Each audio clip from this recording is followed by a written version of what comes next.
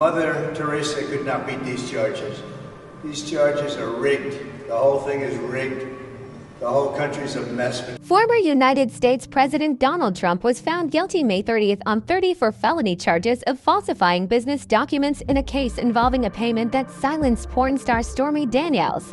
You have a trial like this where the judge is so conflicted he can't breathe.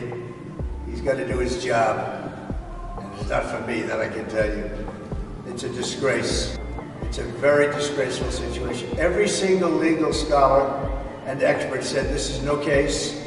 It shouldn't be brought, and it certainly could have been brought seven years ago, not in the middle of a presidential election. Trump, the likely Republican nominee for president in 2024, is still eligible to be president if convicted, since nothing in the Constitution prevents a felon from running or serving in the White House.